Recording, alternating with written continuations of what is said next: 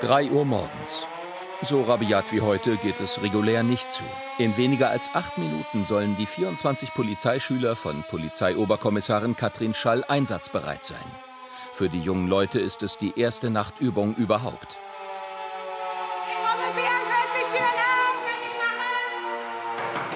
Raus aus dem Tiefschlaf, rein in den Einsatzanzug. Das erste Jahr bei der Bundespolizei ist hart.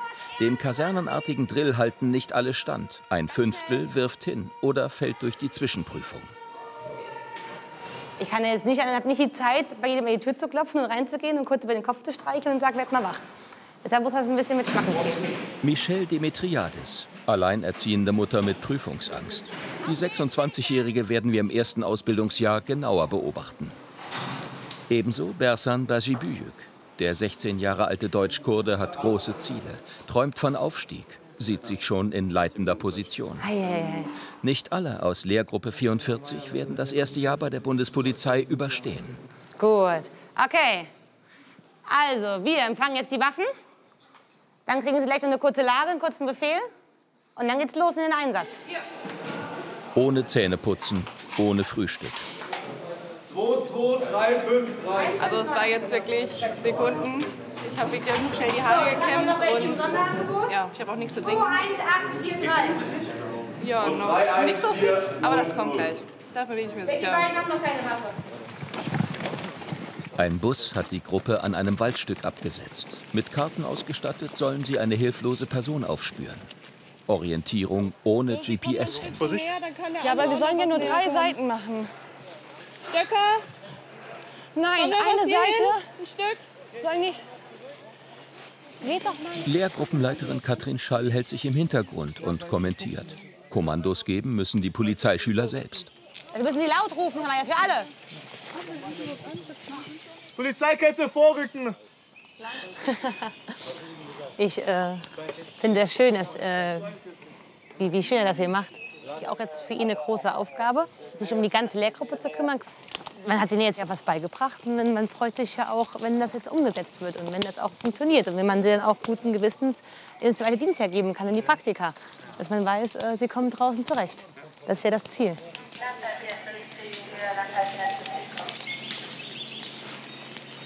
An so einem Tag ist man immer mit aufgeregt als Lehrgruppenleiterin. Und trotzdem bin ich aber mehr aufgeregt für die Lehrgruppe. Dass alles gut wird. Die haben natürlich Angst, dass sie vielleicht umkippen, dass sie irgendwas falsch machen. Und natürlich gucken sie auch immer auf einen. Dann merken sie, irgendwas passt nicht. Dann gehen direkt die Blicke zu mir von wegen, ah, was denkt die Frau Schall? Oder hat sie es vielleicht gar nicht gesehen? Aber ich sehe immer alles. Solche Übungen sind im ersten Lehrjahr eigentlich nicht vorgesehen. Katrin Schall organisiert diese Extras nebenbei. Sie will ihren Schützlingen authentisches Einsatzgefühl vermitteln. Das kommt gut an. So, jetzt sind sie alle da? Gut, wie war's, die erste Durchführungskette? Cool. Ist schwierig, ne, in so einem Waldstück. Ich glaube, gerade die zweite Gruppe hat es ein bisschen schwieriger gehabt. ein bisschen klettern. Sie bleiben immer auf einer Höhe. Dann müssen die halt rechtzeitig melden, dass die anderen warten. Das habe ich rechtzeitig leider nicht gemeldet. Ja. Alles gut, dafür üben wir es ja. So, für jeden zwei Hälften. Ich habe hier Wurst. Fürs Frühstück bleibt nicht viel Zeit. In zweieinhalb Stunden beginnt der Unterricht. Zurück zur Schule geht es zu Fuß. 15 Kilometer.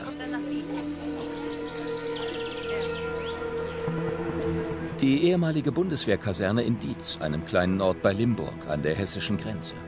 Hier werden jährlich knapp 500 von insgesamt 8000 Bundespolizeischülern ausgebildet. Verglichen mit der Zahl der Landespolizisten ist das wenig. Nach zweieinhalb Jahren sind sie Polizeimeister im mittleren Dienst. Früher wurden nur großgewachsene Bewerber genommen. Seit das abgeschafft ist, lockt die niedrigste Polizeilaufbahn mehr Interessenten. Minderjährige Berufsanfänger, über 30-jährige Quereinsteiger. Migrationshintergrund ist ausdrücklich willkommen. Wenige Wochen nach Ausbildungsbeginn werden die Neuen feierlich vereidigt. Jetzt putzen sie noch schön Schuhe. Ja, wird knapp. Viertelstunde haben sie noch. Aber me- meint's auch sehr gut mit dem Spülmittel, glaube ich, hier. Die sind ja ganz voller Schaum, die Schuhe. Gucken wir gleich.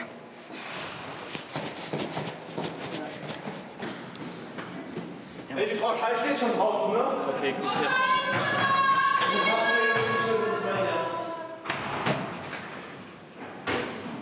Der gefürchtete Stubengang. Katrin Schall schaut heute noch genauer hin. Später besuchen die Eltern der Anwärter die Kaserne. Machen Sie auch mal zu bisschen gerade. Gucken Sie, dass Sie Ihr Bett ein bisschen ordentlich machen, Herr Meier. Hm? Gut. Mit den Pfandflaschen überlegen wir uns noch was. Jawohl. Dass Sie die wegräumen jetzt gleich noch. Machen Sie das jetzt noch. Beim 16-jährigen Bersan Bajibüyük sieht's nicht besser aus. Nee, weil ich wollte eh heute mitgehen, deswegen. Trotzdem haben wir jetzt den Stubendurchgang. Dann packen Sie die einfach in den Schrank, dass es ordentlich aussieht. Viele leben ja auch zum ersten Mal in so einer Gemeinschaftsunterkunft jetzt. Sie teilen sich zu zweit ein Zimmer, was auch nicht wirklich sehr groß ist zu zweit. Und da muss man schon mal lernen, Ordnung zu halten für seinen Stubennachbarn. Aber auch, damit sie hier lernen können, damit sie an den Schreibtisch sitzen können, damit hier nicht alles vollgemüllt ist. Und ich finde es einfach so eine Grundvoraussetzung, dass man ein bisschen Ordnung in seinem Leben hat. Dann ist auch alles strukturierter. Und das versuchen wir ihnen beizubringen hier von Anfang an, vom ersten Tag an. Also meine Mutter macht eigentlich zu Hause so gut wie alles. Und äh, sie räumt mein Zimmer auf, macht Essen, macht einfach alles so, was eine Mutter halt macht. Und daran muss man sich, um die, an die Umstellung muss man sich mal gewöhnen. Aber das kommt jetzt so langsam. So langsam kommt man da rein. Sind alle da? Alle da. Gut. Dann haben Sie jetzt noch mal Zeit. Gute zehn Minuten. Trinken Sie jetzt noch mal was? Vielleicht noch mal eine Kleinigkeit essen? Kleine Schokoriegel oder so? Bisschen Zucker. Und dann treten wir an um 25, in 10 Minuten vom Gebäude. Und dann sind Sie aber auch schon fertig soweit, ja? Dass wir dann gleich losfahren können.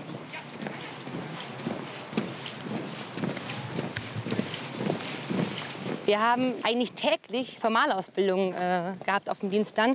Sprich, dieses Marschieren üben. Links rum, rechts rum, dass alle im Gleichschritt gehen. Ja, wir haben viel geübt. Erfolgreich, wie man sieht. Drei Polizeischülern war dieses Exerzieren zu viel. Nach nur einem Monat haben sie die Ausbildung abgebrochen.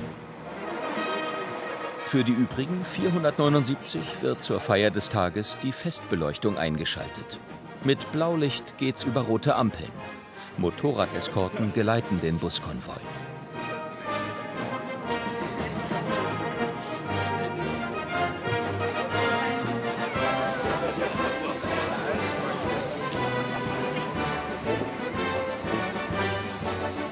Einmarsch auf dem Diezer Marktplatz.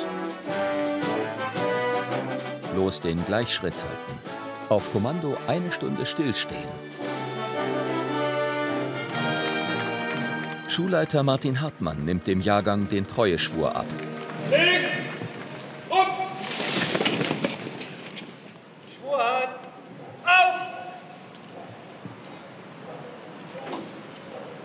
Auf! Auszubildende des Lehrganges Dietz 18.2, sprechen Sie mir nach.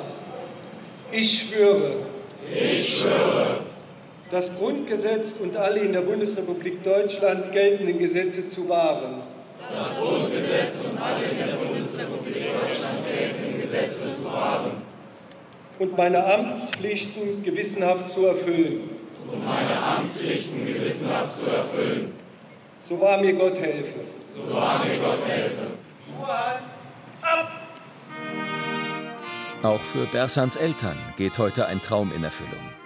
Vater Halil Bashibüyük erinnert sich. Ja, seitdem er wie alt war er da? Seit der siebten Klasse ist er halt äh, gewollt, Bundespolizist zu werden. Hat es geschafft, auch beim ersten Mal. Aufnahmeprüfung. Aufnahmeprüfung.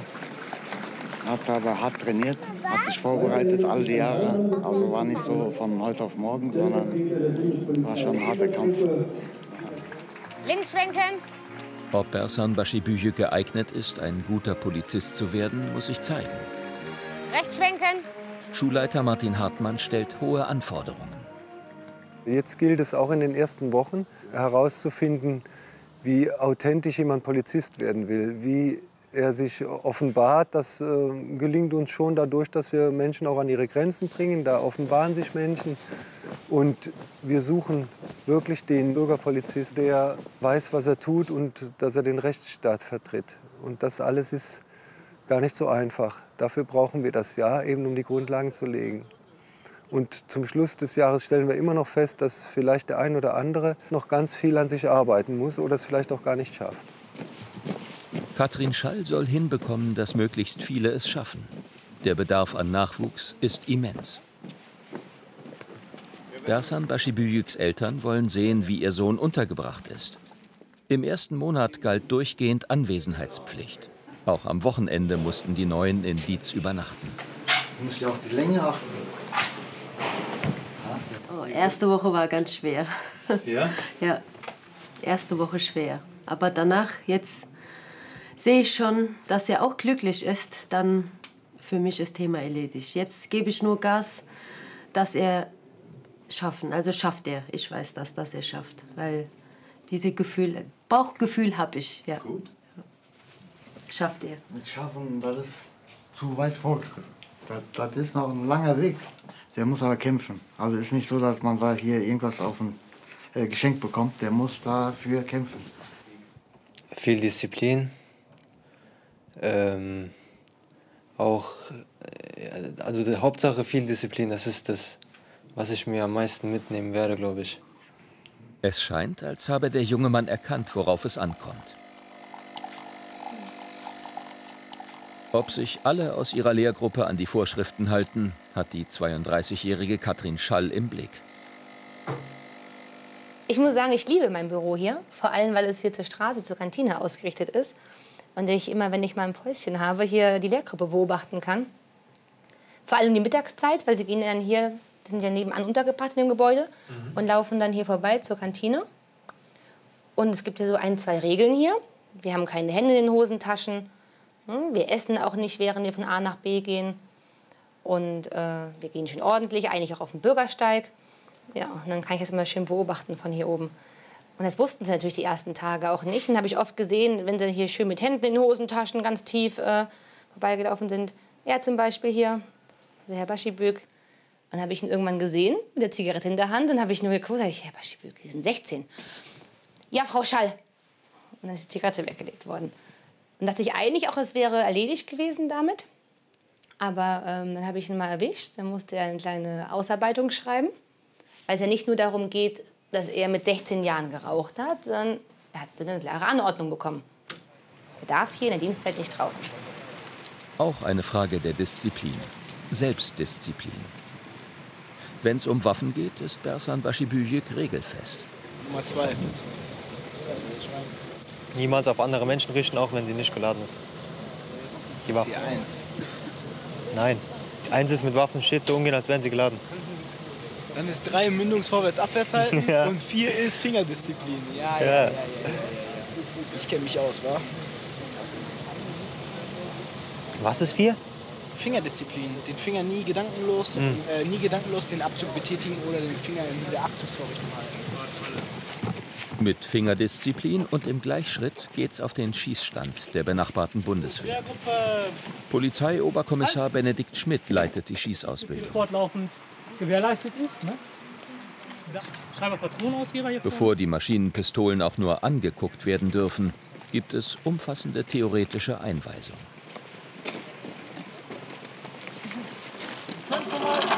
Die, Schie äh, die große Kiste.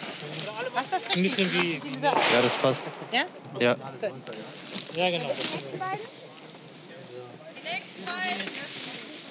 Hast du schon mal geschossen auf einem Schützenplatz oder so? Nee, noch nie. Das erste Mal jetzt aufgeregt, aber einfach locker bleiben, dann wird das schon. Einmal bis zur Habt Hälfte. ihr denn geübt, so ein bisschen mit Druckpunkt, dass man weiß, wie man abzieht? Ja, wir haben das mal trocken geübt gehabt, aber wenn man weiß, da ist eine echte Patrone drin, dann ist es schon ein bisschen anderes Gefühl rechts. Haben Sie gehört? Ja. Rechts schützen, bitte. Übergeben Sie mich mal ordentlich. So, auch mit Meldung, oder? Nee, aber übergeben Sie die Waffe richtig. Ach so, ja. So. Jetzt. Wie haben Sie das gelernt? Ja, so eigentlich. Ja, dann machen Sie es doch auch so. Ja. Gut.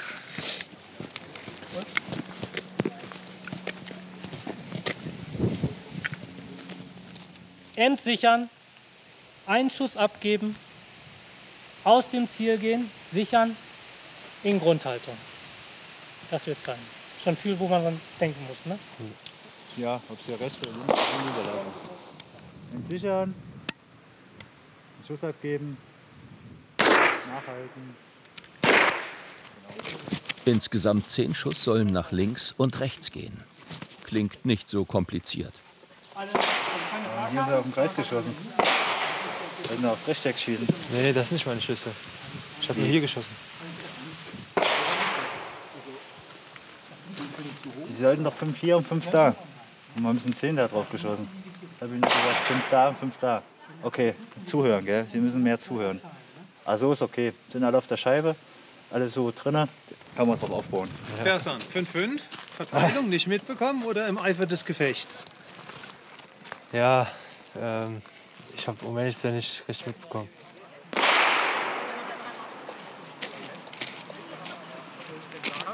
Und dann habe ich ihm gesagt, rechts. Ja, und dann meinte er ja. Also deswegen habe ich das auch nicht so richtig verstanden. Aber egal. Okay. Ja. Gut. Hm. Gerade wenn es knallt. Disziplin, sich im Griff haben, ist nötig. Freitagnachmittag. Bevor sich die Lehrgruppe ins Wochenende verabschieden darf, muss das Wohnheim besenrein sein. Beim Stubendurchgang checkt Katrin Schall nicht nur Sauberkeit. Sie prüft ihre Klasse auf Lücken im Rucksackwissen. Für Fehler werden Strafminuten addiert. Frau Trumi, auch Sie bekommen noch mal eine Chance für Ihr Rucksackwissen. Sie haben zwar kein Minus, aber Sie haben eine Wellenlinie. Ja. weil äh, ich oft die Leute immer dasselbe frage, weil ich ja weiß, wer mit welchen Sachen Probleme hat und sie können es trotzdem immer noch nicht. Und hängen immer an derselben Stelle. Und dann frage ich mich manchmal, warum sie dann nicht einfach, wenn sie doch merken, das ist mein Knackpunkt, sich nicht einfach hinsetzen und das lernen. Ja. Aber ich frage sie ja immer wieder und irgendwann merken sie vielleicht, dass ich immer wieder dasselbe frage. Aber gut. Sie nennen mir bitte alle Tatbestandsmerkmale des Diebstahls. Nur nennen. Hm?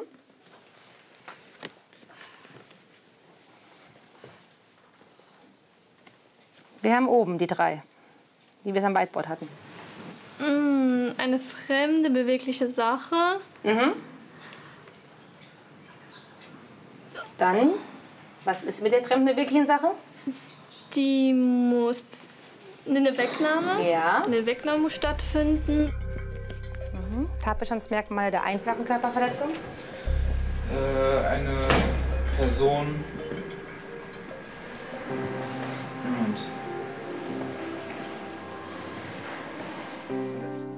Wie ist denn der Krankheitszustand?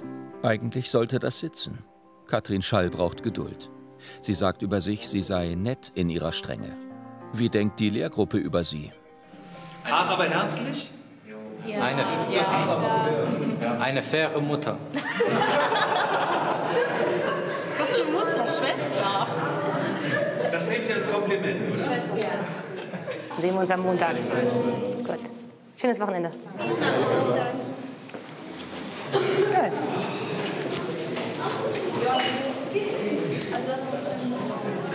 Zwei Tage Auszeit vom militärischen Drill. Alle Mitschüler fahren nach Hause, bis auf Michelle Demetriades. Um ungestört lernen zu können, bleibt sie schweren Herzens in der Kaserne. Prüfungsangst macht ihr zu schaffen. Die alleinerziehende Mutter eines vierjährigen Sohns wohnt wenige Autominuten entfernt. Ihre Eltern kümmern sich um das Kind. Für mich ist das eben wichtig, ich bin eben auch alleinerziehend, ähm, dass das eben funktioniert. Ne? Deswegen habe ich gerade immer vor den Prüfungen dann gesagt, ich bleibe dann hier, so schwer es mir auch fällt. Tut ein bisschen weh, ja? Es tut dann schon ein bisschen weh, man macht sich dann auch Vorwürfe, weil man sagt, okay, eigentlich gehört die Zeit meinem Sohn, ja, und da verbringe ich jetzt hier, aber man muss immer bedenken, ich stecke das jetzt hier rein und das geht auch alles irgendwann vorbei und dann habe ich auch was Handfestes in der Hand und ja, es kommt ja dann nicht nur mir zugute, dann auch meinem Sohn und wir können es ja dann was aufbauen. Montagmorgen 6 Uhr. Für Katrin Schall beginnt der Tag mit Unterrichtsplanung. Für heute hat sie Fallbeispiele für Bahnpolizisten vorbereitet, sogenannte Situationstrainings. Guten Morgen. Morgen. Wenn Sie soweit sind, rechts um. Und Richtung Polizeitrainingszentrum vorrücken.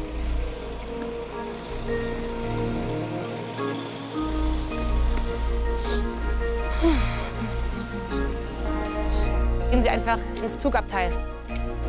Im Trainingszentrum wird der Alltag wirklichkeitsnah simuliert. Neben der Attrappe eines Bahnwaggons findet sich ein Teil eines Passagierflugzeugs.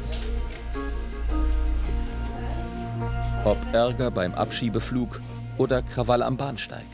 Ausbilder mimen böse Bürger. Weil es immer was anderes ist, wenn sie jetzt wirklich von einem Gegenüber stehen und dann widerspricht der auch mal. Und das ist wirklich so das Schwierige für die, wirklich so sich durchzusetzen, weil sie manchmal auch noch nicht wissen, muss ich jetzt hart sein oder muss ich jetzt eher ein bisschen lieber sein? Und das versuchen wir ihnen hier beizubringen. Erster Einsatz für die schüchterne Michelle Demetriades. Hey! Polizei! Hören Sie sofort auf! Ich komme aus dem Magen. Stellen Sie sich mal bitte vor die Spinde da. So. Einmal vor die Spinde, bitte. Ja, ist ja gut. Ja. So, erzählen Sie. Also, ja. der Automat hat mein Geld gefressen. Ja. Ich komme hier nicht weg. Ja. Ich habe hier nichts mehr. Zwei Euro. Mein Geld ist da drin. Sie können nicht hier einfach gegen den Automaten treten. Wie? Ich kann natürlich kann ich. Nein, können Sie nicht. Glaube ich das kann. Sie zerstören den Automaten. Ich habe jetzt gesehen, dass Sie mehrmals gegen den Automaten getreten haben. Dieser ist jetzt offensichtlich beschädigt. Ja, das ist eine Straftat. Das ist eine Sachbeschädigung. Das ist eine Sachbeschädigung, das ist eine Straftat. Ich brauche jetzt mal Ihren Personalausweis. Ihren Personalausweis. Auch bei Aufregung richtig funken.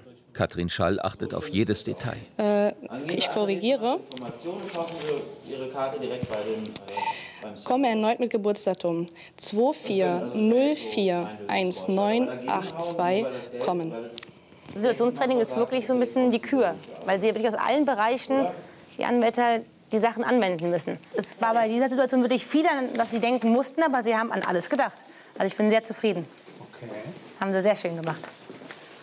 Mit welchen Maßnahmen der Einsatz gelöst wird und wie die angehenden Polizisten dabei auftreten, wird Katrin Schall benoten. Wochen später. Der bisherige Leistungsstand wird verkündet. Die Polizeischüler sind angespannt. Ihr bisheriges Abschneiden ist wichtig fürs Zwischenzeugnis. Wir hatten ja ein, zwei, die nach den ersten Aufsichtsarbeiten schon nicht so gut standen, die auch dann Zielvereinbarungen bekommen haben, dass sie in die Nachhilfe gehen sollen, dass sie was tun müssen. Ähm, leider habe ich festgestellt, dass sie trotzdem nicht unbedingt in die Nachhilfe gegangen sind. Ich nehme das nicht persönlich, aber ähm, mir macht das schon was aus, wenn ich immer wieder was sage und ich merke dann auch in den Klausuren, die ich korrigiere, es wird nicht umgesetzt. Und dann frage ich wieder, woran lag's? Und dann merke ich, die sind einfach nur faul teilweise. Und dann muss ich sagen, dann ärgert mich das schon ein bisschen, dass man hier macht und tut und versucht, ihnen das bestmöglichst alles beizubringen, dass sie auch alle bestehen. Und äh, es wird nicht umgesetzt. Aber ich glaube, das ist wie mit kleinen Kindern. Da sagt man das auch immer wieder und die denken, ja, ja, red du mal, ich schaffe das schon alles irgendwie. Nur leider sieht man ja in der Lehrgangsleistung, dass es bei manchen eng wird. Am Ehrgeiz dürfte es bei Michelle Demetriades nicht liegen.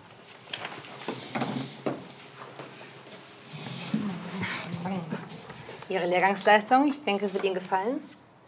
Das sind die Lehrgruppenbeste. Wow. Ich habe extra ausgerechnet mit der Frau Luz, weil Sie haben gewonnen. Gewonnen?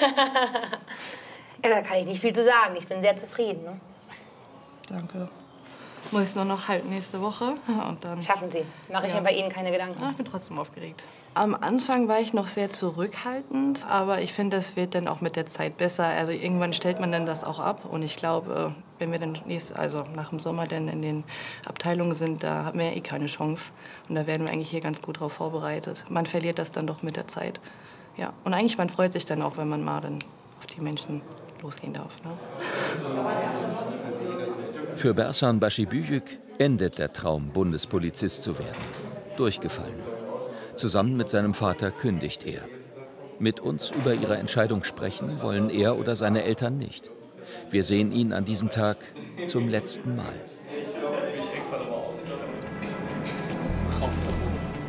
Der Flughafen Frankfurt. Schnuppertag für die Lehrgruppe auf Deutschlands größtem Airport. 2400 Bundespolizisten arbeiten im Schichtbetrieb. Sie sind zuständig für die Luftsicherheit und kontrollieren international Reisende.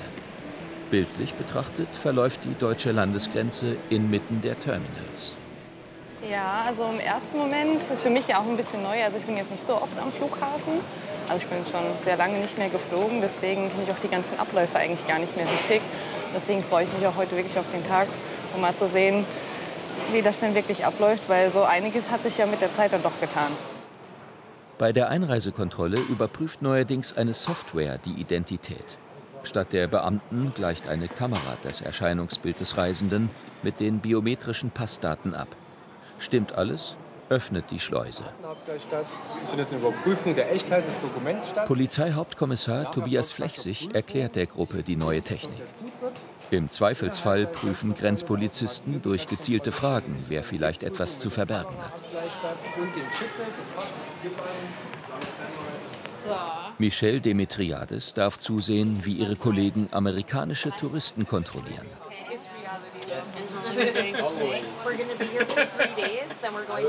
Die beiden Paare geben an, eine Urlaubsreise zu machen.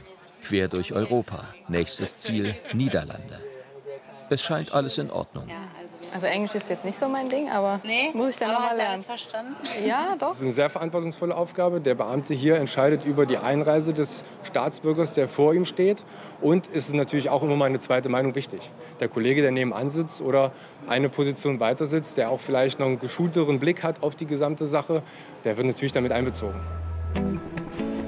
Nächste Station. Luftsicherheitskontrolle. Das Durchsuchen der Fluggäste übernehmen Sicherheitsunternehmen im Auftrag der Bundespolizei. Die überwacht lediglich die Arbeit ihrer Subunternehmer, greift nur im Einzelfall ein. Die Kontrollstelle wird durch zwei Beamte gesichert, notfalls mit Waffengewalt. Im nächsten Ausbildungsjahr wird Michelle Demetriades hier stehen. Wir machen ja ein Praktikum. Wir schauen da nicht nur, wir sind dann zweiter Mann und wir gehen dann auch richtig streifen. Wir gehen dann wirklich richtig raus mit den Kollegen und da sollte man schon funktionieren. Deswegen werden unsere Vorgesetzten trainieren uns deshalb auch wirklich darauf hin, weil auch unsere Kollegen sich auch auf uns verlassen müssen. Also wir müssen schon wissen, was wir hier tun, wie wir handeln, auf welche Rechtsgrundlage wir handeln, äh, weil wir sitzen ja nicht mehr im Lehrsaal. Mitte August endet das erste Ausbildungsjahr. Heute werden die Ergebnisse der Zwischenprüfung verkündet. Ein letztes Mal marschieren. Katrin Schall lenkt ihre Klasse zur Entlassungsfeier. Lehrgruppe 44. Zweimal links schwenken, vorrücken. Genau wie an Tag 1 sieht die faire Mutter, wie sie hier genannt wird, auch heute jedes noch so kleine Detail. Hätte auch mal das Hemd bügeln können, ne? Von ursprünglich 482 Schülern haben 99 aufgegeben oder die Zwischenprüfung nicht bestanden. Das Beste kommt zum Schluss. Michelle Demetriades ist nicht nur die Nummer 1 ihrer Klasse. Sie hat auch die beste Note des gesamten Jahrgangs erzielt. Dimitriades, äh, Michelle, ist richtig so gesprochen? Ja. Oh mein Gott.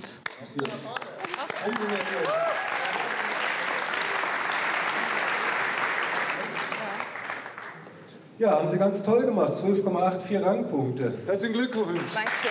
Ich finde das toll. Super.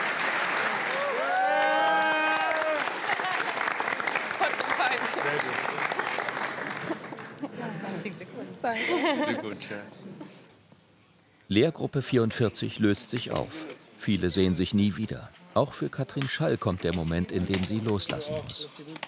Heute endet mein Ausbildungsauftrag für Sie. Versuchen Sie immer, Ihr Gewissen mit dem Dienst zu vereinbaren. Vielleicht denken Sie dabei auch an die Werte, die ich Ihnen vermittelt habe. Kurz gesagt, seien Sie gute Polizisten. Sie können auf sich und das, was Sie hier geleistet haben, wirklich stolz sein. Denn ich bin es. Katrin Schall hat ihren Teil getan, damit aus jungen Menschen wie Michelle Demetriades gute Polizisten werden. Sehr traurig gerade, aber Noch ist ungewiss, wer bis zum Ausbildungsende durchhält. Auf dem harten Weg zur Bundespolizei.